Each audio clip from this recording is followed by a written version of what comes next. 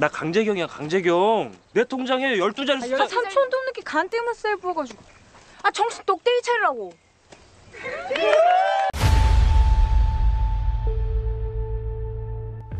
Okay, boys, here we go.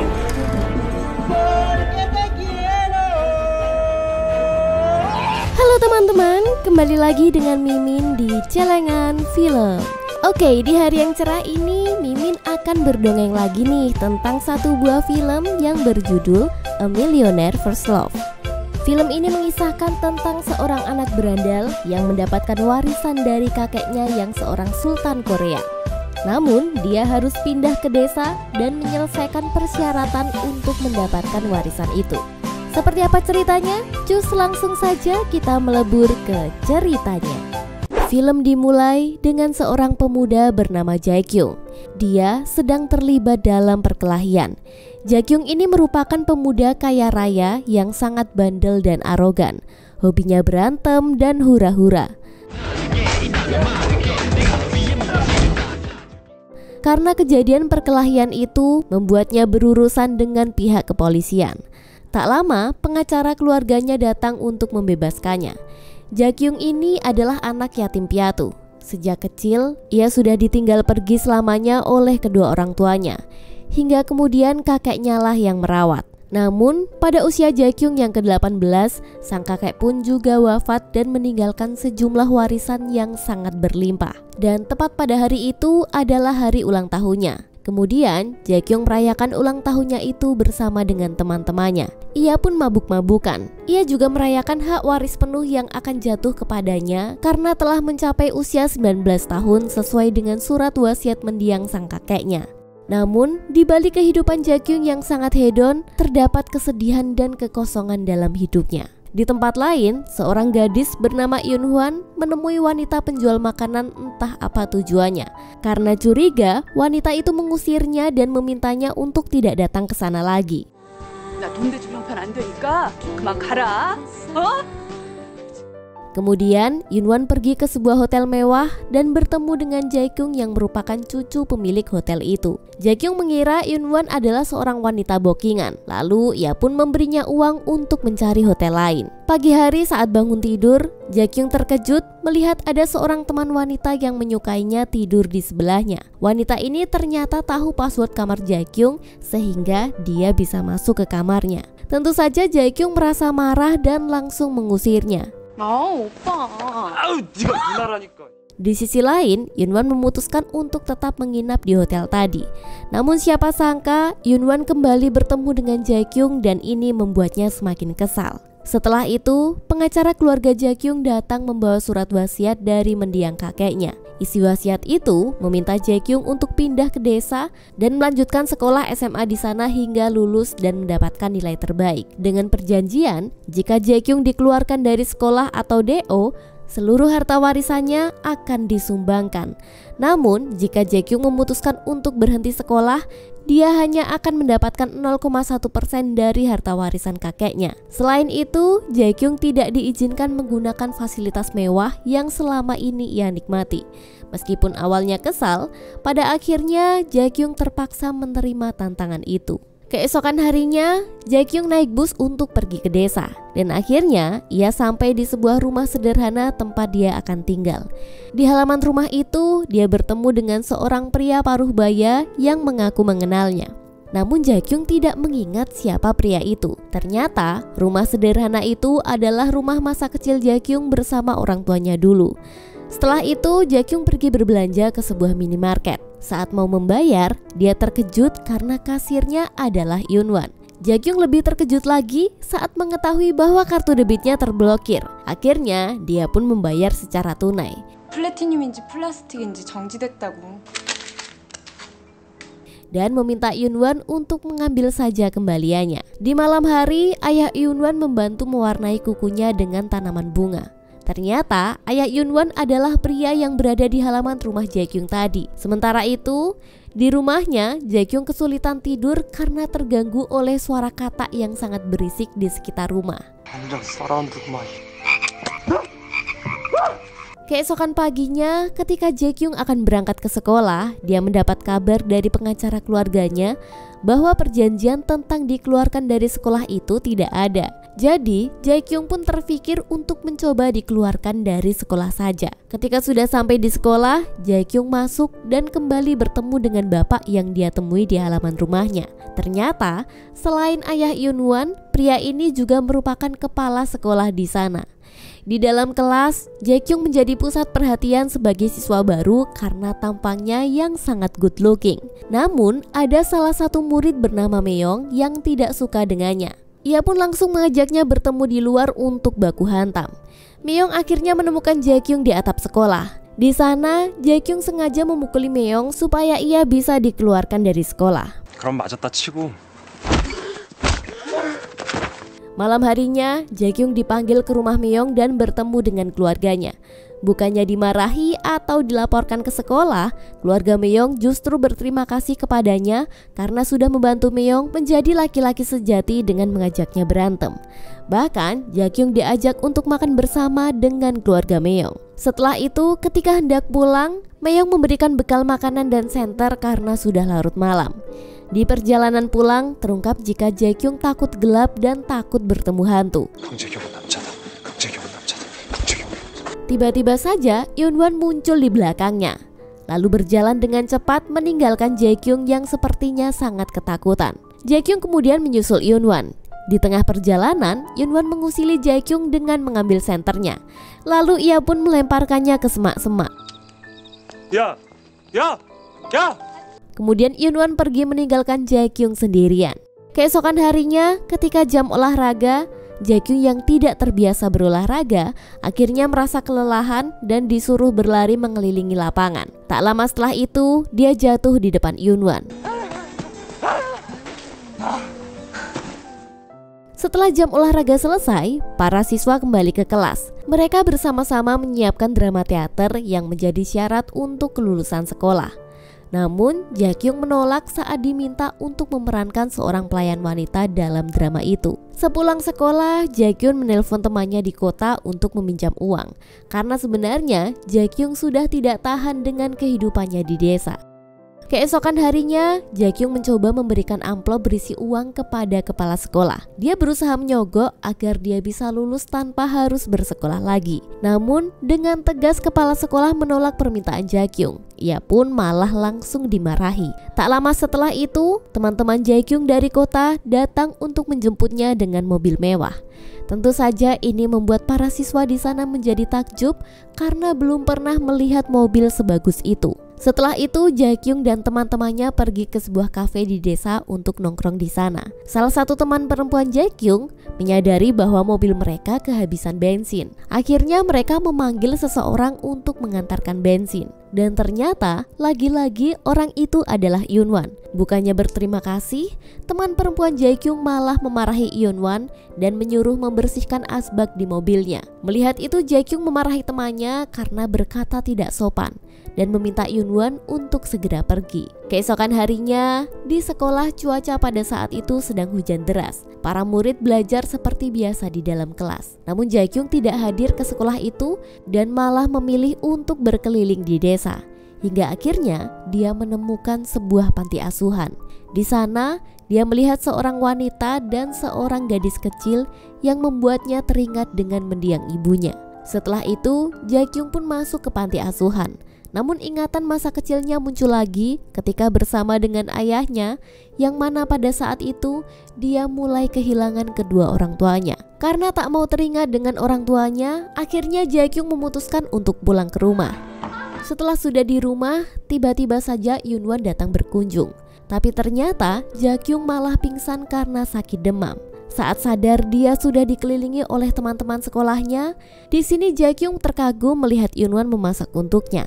Karena baru pertama ini ia melihat perempuan masak dengan hebatnya. Setelah itu mereka pun makan bersama. Kemudian adegan beralih memperlihatkan Yunwan dan teman-temannya sedang latihan menari untuk pementasan drama. Tiba-tiba Jakyung datang dan berpura-pura kakinya sakit untuk menghindari latihan. Namun di tengah-tengah latihan, Yunwan pingsan karena kelelahan. Dengan cepat, Jakyung langsung menggendongnya dan dibawa lari ke rumah sakit. Di rumah sakit, dokter menganjurkan Yunwan untuk tidak ikut pementasan drama karena Yunwan harus banyak istirahat. Namun dengan tegas, Yunwan menolak permintaan itu. Sementara di luar beberapa teman Yunwan datang ke rumah sakit untuk menjenguknya. Namun mereka tidak mendapatkan izin untuk masuk. Setelah itu, Jakyung mengajak teman-temannya pergi ke pasar. Di sana, Jakyung mentraktir teman-temannya untuk berbelanja.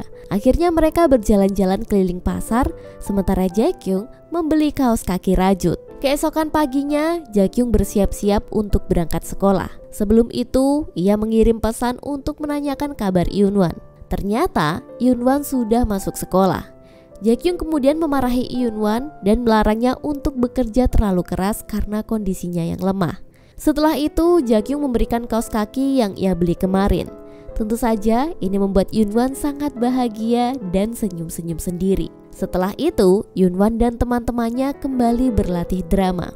Jakyung yang ikut latihan nampak kaku memainkan perannya. Akhirnya, teman-temannya mengerjai Jakyung supaya badannya lentur.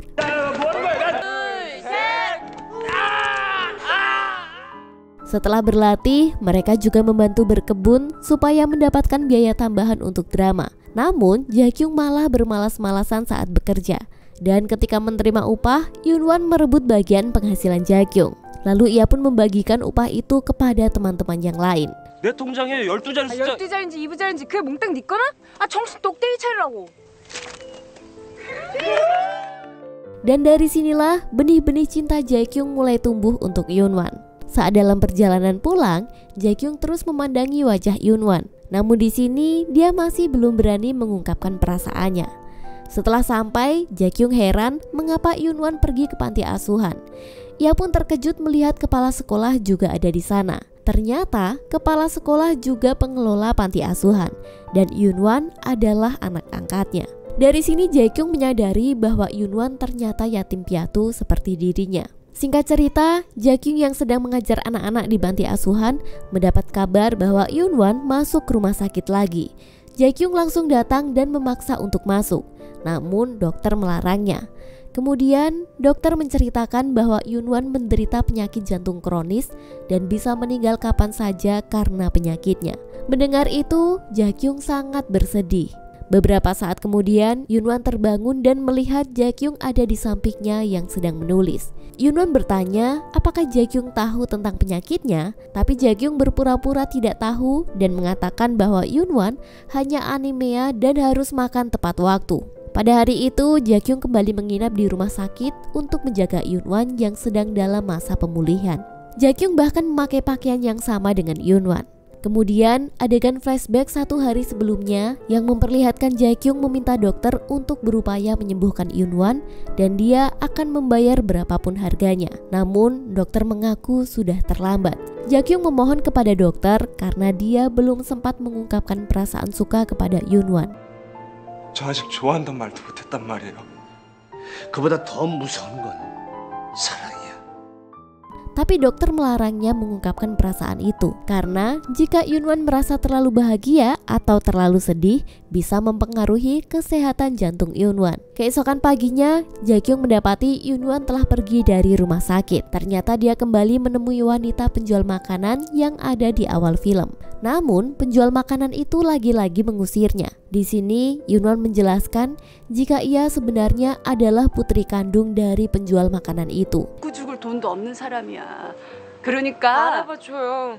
입술도 닮았잖아요. 19년 동안 한 번도 못 봤어도 Di sini dia tidak bisa lagi menahan air matanya karena ia merasa masih sakit hati telah dibuang oleh ibunya sendiri. Setelah itu, Yunwan turun dari bus dan bertemu dengan Jaekyung. Jaekyung meminta Yunwan untuk berhenti bekerja saja. Namun Yunwan menolak karena dia memiliki cita-cita punya rumah dengan banyak jendela. Dari sini juga mulai terungkap bahwa pemilik tanah panti asuhan itu adalah mendiang kakek Jaekyung dan saat ini mereka harus segera mengosongkan tempat itu karena ternyata akan digusur akibat hutang yang menumpuk. Mengetahui hal ini, Jaekyung langsung bertemu dengan pengacara keluarganya. Pengacara itu memberi saran agar Jaekyung melepas hak warisnya.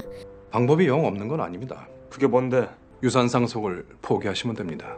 sehingga dia dapat membeli lahan panti asuhan itu. Di sisi lain, Yunwan sedang berbicara dengan ayahnya yang bercerita tentang kedekatannya dengan Jaekyung. Ayah Yunwan meminta putrinya supaya menjalani sisa hidupnya dengan bahagia.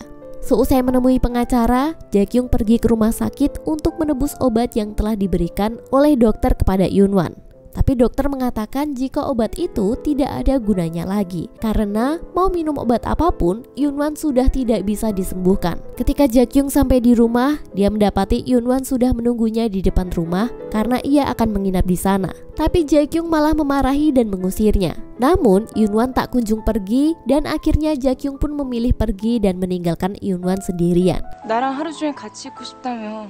나 한가하게 연애하러 온 거 아니거든? 너 뭔 말을 듣고 싶은데? Setelah itu, Jaekyung menelpon pengacaranya dan memutuskan untuk melepaskan hak warisnya. Meski ia hanya mendapatkan 0,1% dari warisan, tapi setidaknya dia bisa menyelamatkan panti asuhan. Hari berikutnya, Jaekyung datang untuk melihat anak-anak panti asuhan yang sedang berlatih. Ketika melihat adegan yang diperankan oleh anak-anak panti asuhan, dia teringat kembali dengan teman-teman masa kecilnya. Ternyata teman masa kecilnya itu adalah Yunwan. Di sisi lain, dia mulai sadar jika Yunwanlah sosok wanita yang ia cintai dari dulu. Namun, dia tidak melihat Yunwan ada di sana. Kemudian, Jaekyung pergi mencari Yunwan. Namun di tengah jalan, tiba-tiba saja dia teringat kenangan masa lalunya ketika terjadi kecelakaan yang merenggut kedua orang tuanya. Tak lama kemudian, Jaekyung bertemu dengan Yunwan. Ternyata Yunwan masih marah akibat kejadian kemarin. Karena merasa bersalah, akhirnya Jaekyung mengucapkan janji yang pernah mereka buat semasa kecil. 또 놀러 올게 은하나 열밤 자고 올게 진짜로 열밤만 자고 오려고 했는데 그날 엄마 아빠가 돌아가셨어 Dia meminta maaf telah melupakan segala hal yang terjadi di desa ini. Setelah mengetahui bahwa Jaekyung sudah mengingat semuanya, Yunwan menyatakan harapannya untuk tinggal bersama Jaekyung hingga salju pertama turun.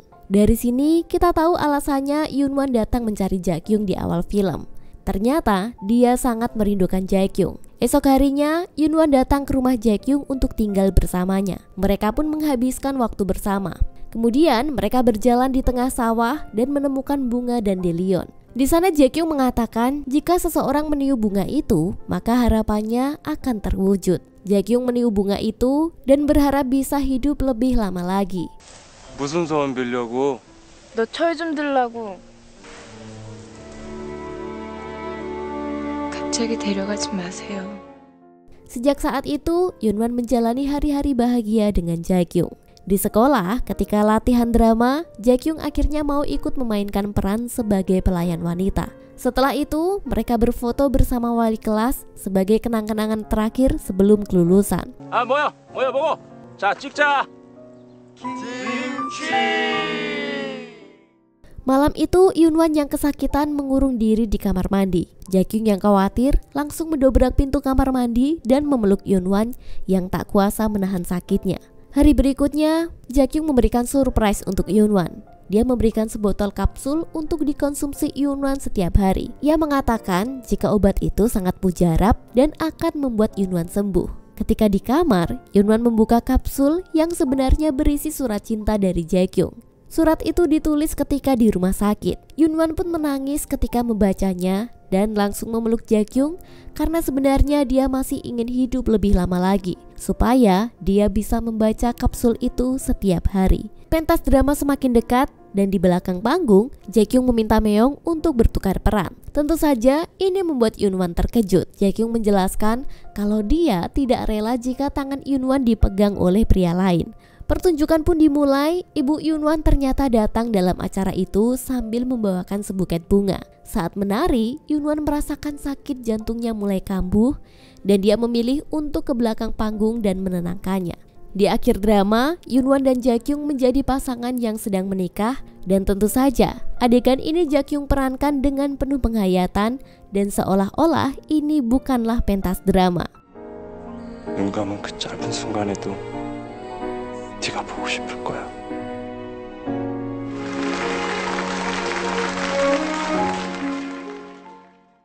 Malam setelah pertunjukan, Jakyung dan Yunwan duduk berdua.